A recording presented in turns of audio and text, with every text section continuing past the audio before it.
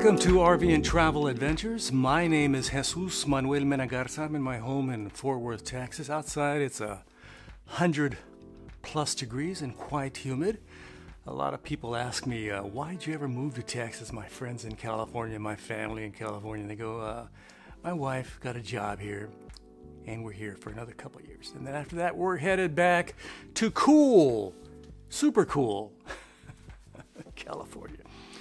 I just returned from a vacation in California about a month ago, and it was very nice there. Uh, stereotypical, cool, pleasant Bay Area weather.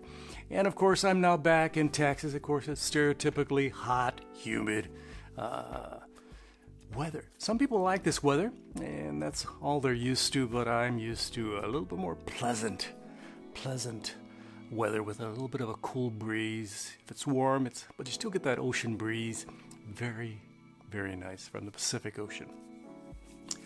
So today I'm going to be talking about my Rockwood Mini Lite 2205S travel trailer and uh, some of the issues I've been having lately. I just wanted to, you know, inform you that uh, RVing is not uh, just, uh, you know, everything's, you know, hunky dory, super pleasant.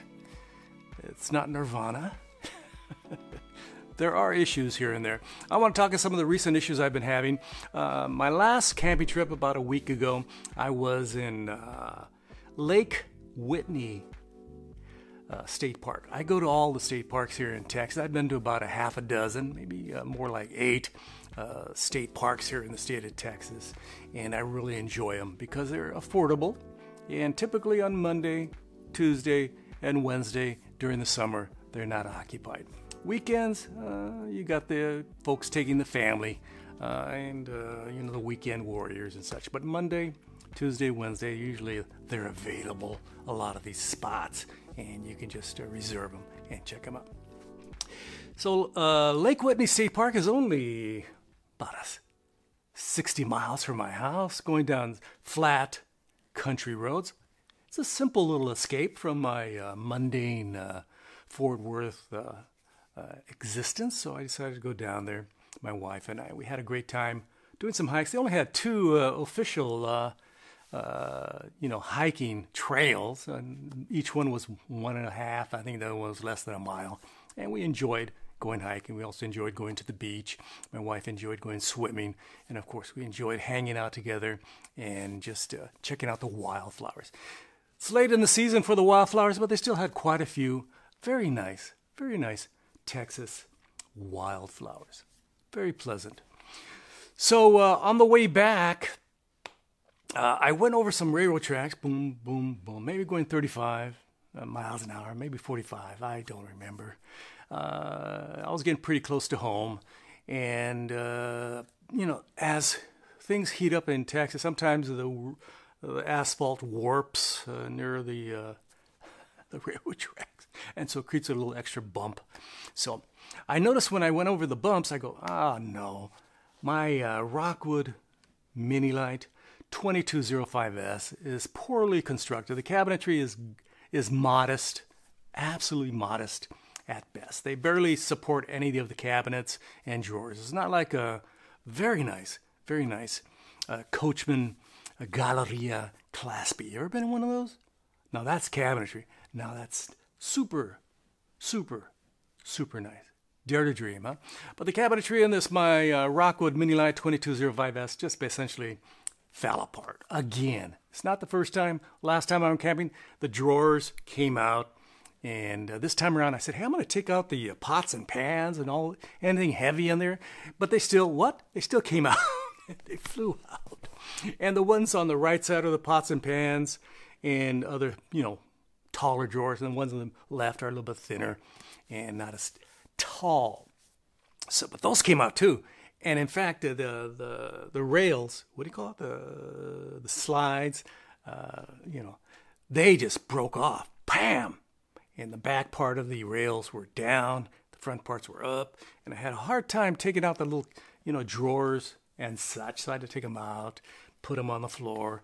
And I said I was gonna fix them. I was gonna fix them, but. Uh, it got a little hot. Got a little hot in my travel trailer.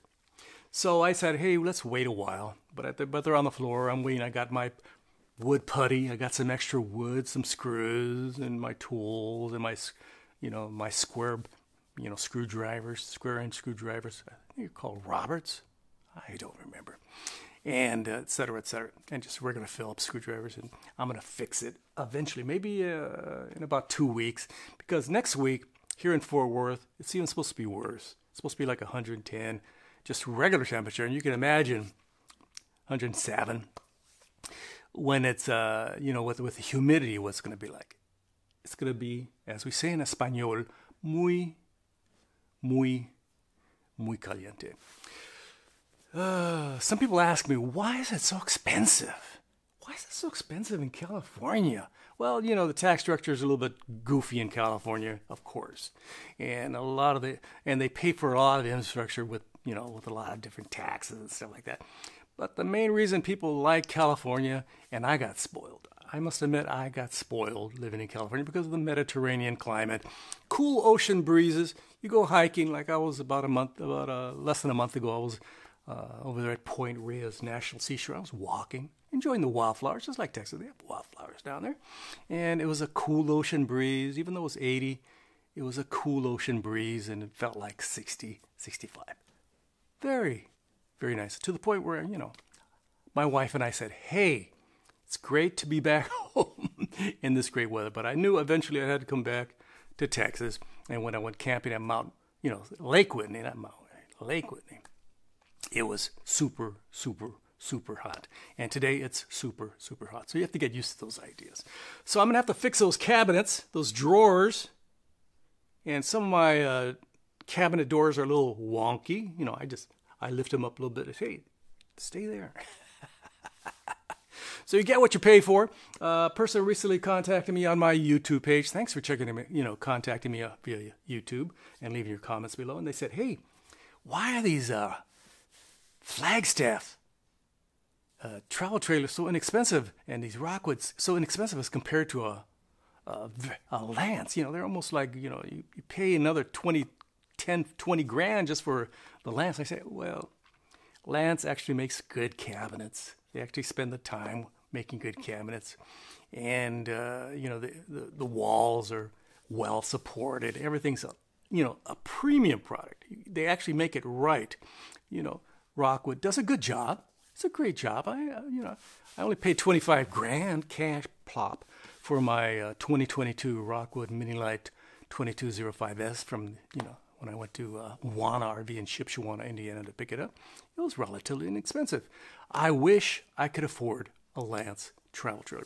On another subject, in a comparison to Lance, Lance has uh, insulated double walled uh, tanks. They're typically 45, 40 gallon tanks, and they usually have three of them. Some of the old units have 45, 45, 45, you know, fresh, gray, and black are all 45. And they're all insulated and four season ready, A plus, and well supported. Uh, conversely, I was fooled by the marketing material at Rockwood Flagstaff. 56 gallon freshwater tank in my Rockwood Mini Lite 2205S. Uh, yeah, but you can't fill it up to go boondocking. The only reason you fill up your tanks with a lot of water and going down the road is because what? You're going boondocking. And if you're going boondocking, typically you're going to go down a little bit of a road that has a little bit of a bounce to it. And uh, those flimsy supports are known to have cracked, broken, fallen apart. And so the folks at Rockwood say, hey, you can, uh, we, we sell you that, but it's just uh, pr- primarily decorative.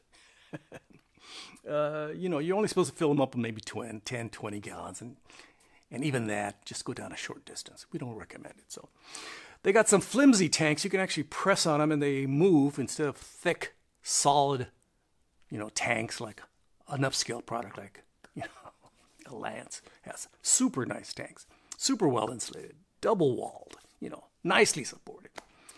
But uh, the Rockwood, again, I had hoped I go, hey, I bought this. I'm going to go do some boondocking. Very nice. Fill up the tanks to 50 gallons, go down that road, a little bit of a bounce and a jounce, and call it good. And I'll just stay out there, enjoy the desert, enjoy the countryside, go up those, you know, go Eastern Sierra, have look at the uh, enjoy the redwoods and stuff like that, streams and stuff like that. But no, no, I was fooled. I am a fool. You can't fill up those tanks. You can't go down those bouncy roads because what? They're not well supported, and you're not supposed to fill them up, according to the folks at Rockwood Flagstaff. So those are my two uh, gripes today. I just wanted to gripe a little bit, you know, sort of like do a, you know, complain. Hey, I apologize. This 71 year old, I just turned 71 uh, recently, uh, does not like being limited in his RVing options. Again, I can't, you can imagine going down those little bumpy roads, just a little bit of a bump, not a lot of a bump, and my drawers flying out again, and my water tanks, you know, the frames pop and all of a sudden I'm dragging my water tank down the road. That'd be sad. So you you actually have to get an off-road vehicle, something of a high quality, well built. If you want to I'll go off-roading, I do not recommend a Rockwood Mini Lite product at this time, or a Flagstaff product at this time. There are specifically uh, off-roading options out there with better supports, better frames, better tank support, uh, you know, better everything. You know, it's better built. Yeah, it's like a tank compared to a you know some budget option. Okay, so uh, those are my issues that I'm having right now. Um, maybe in a couple weeks I'll get the old. Uh, I have already set and prepositioned my logistics for I have my plastic putty, some extra wood, my square head Roberts, I think they call Roberts screwdrivers, and everything ready to uh, fix my cabinets and put them in place. And then I'm going to add some uh, magnetic latches, uh, some strong ones, some wide ones, not some little ones, wide ones. And hopefully, if I encounter another railroad track, bumpity, bumpity, bump, it doesn't um, immediately fly out, plump. Okay. One thing I did previous to uh, going down the road, I took out all my pots and pans. Again, I took out all my pots and pans, anything heavy in the drawers, but they still, what? What do they still do? They still flew out. again, you get what you pay for. You know, again, I would love to have that Coachmen Galleria, Amish quality, high quality, solid wood cabinets in my Rockwood Mini Lite. But then again, what would happen? I would have to pay another 10 15,000 bucks for the privilege. But yeah. So hope you're doing fantastic wherever you're at. I just wanted to complain a bit, give it a bit of a rant. Do you mind me giving a bit of a rant? It's better I rant and you learn than say, hey, uh, I'm going to get one of those Rockwood Mini Lites and I'm going to go do some off roading. I'm going to go down that, you know, rutted road and, uh, you know, go do some boondocking. I'm going to fill up my tank, my 56 gallon you know, fresh water tank. I'm going to fill it to 50 gallons. Uh, don't. Don't. I'm warning you. Don't. Okay, so hope you're doing fantastic. I have other things I don't like about my Rockwood Mini Lite, but I do like it quite a bit because it was affordable. It was $25,000 cash on, you know, and I bought it and I brought it down here to Fort Worth and it's it's good as long as I'm going down a, you know, comfortable flat road, it's not. It's not an issue. But once I go down a little bit of a bump, hit a railroad track, uh, all bets are off. All bets are off. From Fort Worth, Texas, hope you're doing fantastic. Outside, it's a hundred plus degrees when you consider humidity, and it's super, super humid. Again, I'm not going to be working on my RV right now because it's uh, it's a bit too humid and too hot at this time. And I brought my little fan. Let me turn it on. Let me see. Ah. Ah. Ah, very nice. So this is, I usually carry this in my RV when I'm a little bit hot after a camp. You know, after going camping and doing a little bit of, can turn on my little fan. Again, I hope you're doing fantastic. Again, what did I say earlier? I hope I, I'm not being redundant. Don't forget to like, subscribe, and share. Uh, muchas, muchas gracias. And don't forget to ring the bell for future notifications, for future notifications, and please leave your kind and professional comments below abajo.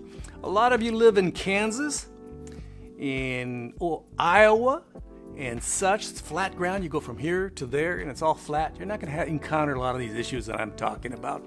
But I wanted to go to the Eastern Sierra. I wanted to go back to the Ro- you know Rockies. I wanted to go to northern New Mexico. You know, southern Colorado. I wanted to go here and there. But I have to now moderate my desires and say, hey, Jesus, you can do this. Simple, flat roads, country roads are pretty good. No issues. Once you go down anything rocky, rutted, uh, all bets are off. You may have to have a lot of things fixed, a lot of things repaired, and I'm the fix it guy at this time until I'm not and I can't uh, fix it myself. I'll have to send it somewhere and pay. Usually, uh, at these RV dealerships, they have a little sign say, uh, "We charge $175 an hour just for the privilege of fixing your RV." Thank you very much. You're just too generous. From Fort Worth, Texas, this has been Jesus Manuel Menegarza. Hope you're doing fantastic. Happy camping. I plan to do some camping pretty soon. I'm going to do some serious camping in a couple weeks. Gracias. After I fix my cabinets, of course. Gracias. Adios. Bye bye.